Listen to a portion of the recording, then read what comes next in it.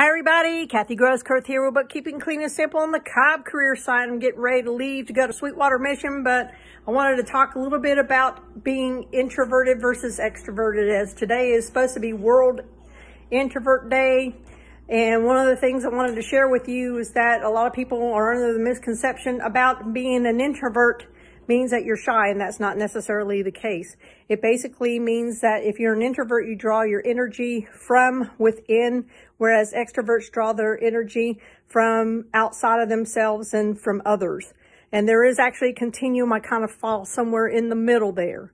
So anyway, for all you introverts out there, celebrate your special day. Take care and have a wonderful day.